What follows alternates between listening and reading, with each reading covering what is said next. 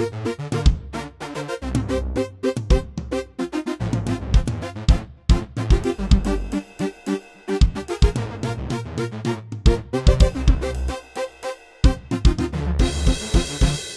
there, my name is Jason. I'm founder of FreeCPAPadvice.com and FreeCPAPadvice.com forward slash forum. If you haven't joined yet, please join now. Let's talk about pressure pulse and FOT, forced oscillation technique. If you don't know what the hell these are, you may not care. But this is something people ask about, and more often than not, what they're what they're asking about is uh, it's because they're looking at their sleepyhead report and they see some stuff in there, and they're like, "What the hell is that?" So let's try to figure that out. What the hell is that? We're going over pressure pulses, which is from a Philips Respironics machine, and FOT forced oscillation technique is used by ResMed, the ResMed product line. Let's go ahead and take a look. Let's take a look at these two things. They're pretty much used for the same purpose. Philips Respironics, these are used by the machine to determine if it's a central apnea or an obstructive apnea. They don't have belts. In the sleep lab, we have those belts, the thoracic and abdominal belts, and if those are still moving when someone stops breathing, we know it's, it's an obstructive apnea because they're trying to breathe, they're trying to draw in air, but they can't because there's an obstruction.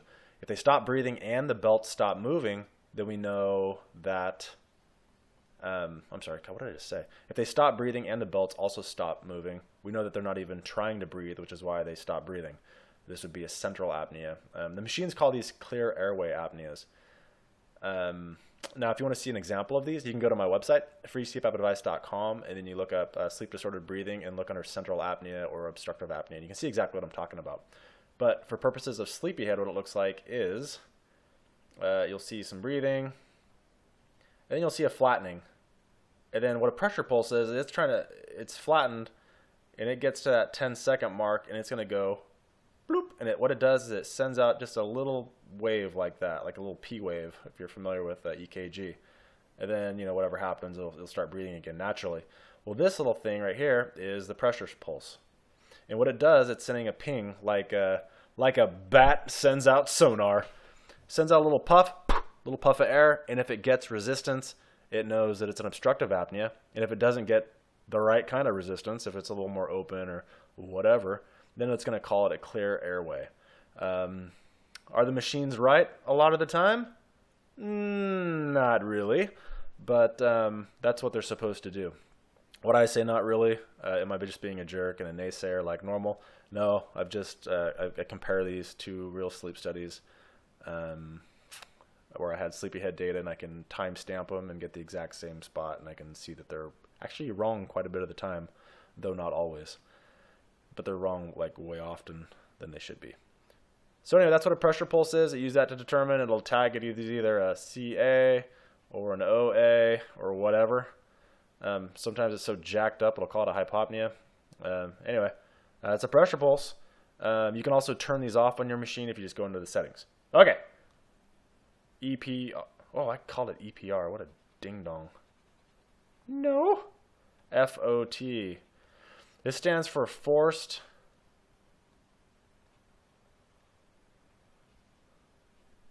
forced oscillation technique.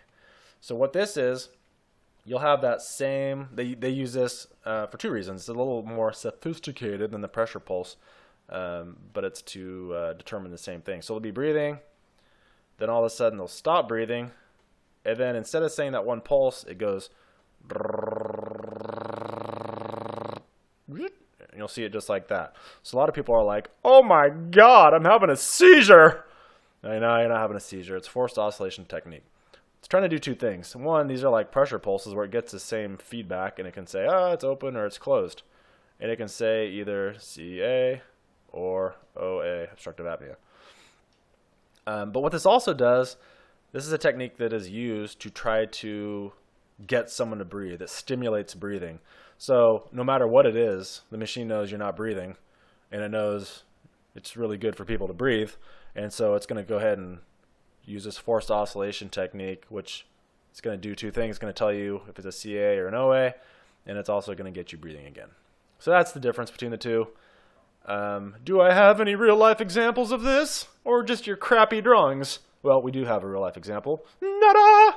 This is my forum, and this is gentleman was.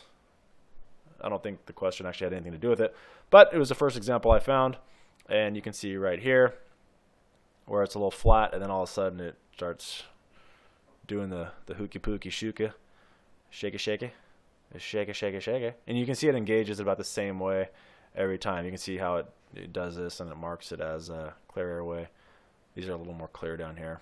But you can see the same time in, it uh, turns this on uh, to try to determine that and to try to get the gentleman to breathe. Um, I don't have one of the pressure pulse, but you get the gist.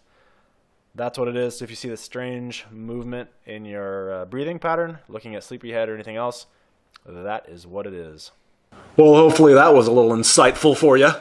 Um, if you have any questions, please join my forum, freecpapadvice.com forward slash forum. Please like the video, subscribe to my channel. Thanks.